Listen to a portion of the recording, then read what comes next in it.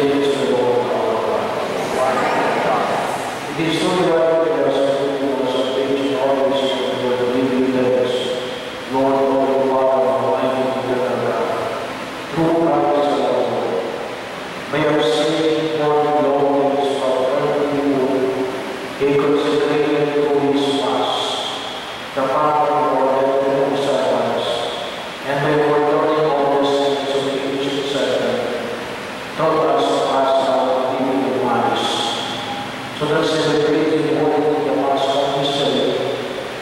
Vivai em paz, ó guardadas,